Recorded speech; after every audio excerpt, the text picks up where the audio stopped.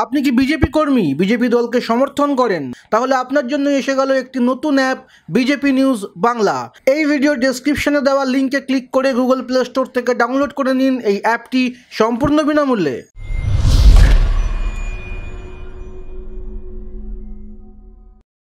ভিন রাজ্য থেকে আসা বিজেপি নেতাদের বহিরাগত বলে নিশানা করেছে তৃণমূল কংগ্রেস। তার পাল্টা দিলীপ ঘোষের প্রশ্ন, বিহার থেকে বুদ্ধিজীবী এনে জেতার চেষ্টা করেছেন পিকে কে? তার সঙ্গে বাংলার কি সম্পর্ক? বিজেপি নেতা জয়প্রকাশ মজুমদারের কথায়, উত্তরপ্রদেশ দিল্লি থেকে লোক আসলে কি পাসপোর্ট, ভিসা লাগবে? আপনারা কি ঘোষণা করে দিলেন? এটা পশ্চিম বাংলাদেশ হয়ে গিয়েছে। গতকাল বুধবার বিজেপির কেন্দ্রীয় নেতাদের বহিরাগত বলে নিশানা করেছিল সুখেন্দু শেখর রায়। এদিন আবার চন্দ্রিমার মুখে শোনা গেল, বহিরাগতদের এনে বাংলা দখলের স্বপ্ন দেখছে বিজেপি। তৃণমূলের বহিরাগত তত্ত্বের পাল্টা দিতে ভোট কৌশলী প্রশান্ত কিশোরকে টেনে এনেছেন দিলীপ ঘোষ। বলেছেন, আমাদের সর্বভারতীয় নেতারা বারবার আসবেন। নির্বাচনী প্রস্তুতি দেখে কেন্দ্রকে রিপোর্ট দেবেন। যারা অভিযোগ করছেন, তারা বাংলার লোকদের ভরসাই করেন না। ওরা তো বিহার থেকে বুদ্ধিজীবী এনে জেতার চেষ্টা করছে। পিকে কে? তার সঙ্গে বাংলার কি সম্পর্ক? মমতা বন্দ্যোপাধ্যায় তো অসম, বিহার, উত্তরপ্রদেশে গিয়েছেন তার বেলায়।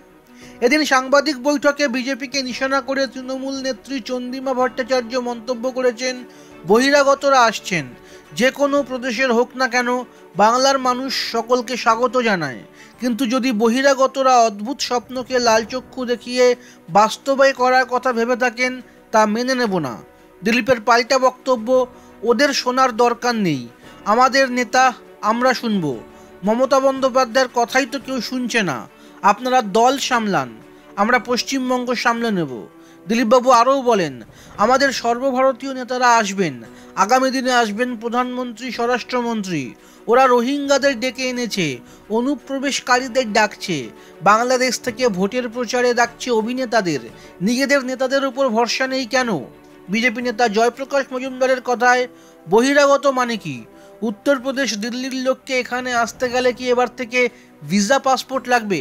আপনারা কি ঘোষণা করে দিচ্ছেন যে এটা পশ্চিম বাংলাদেশ? বাংলাদেশের অনুপ্রবেশকারীরা বহিরাগত নয়, উত্তরপ্রদেশ দিল্লির লোকেরা বহিরাগত?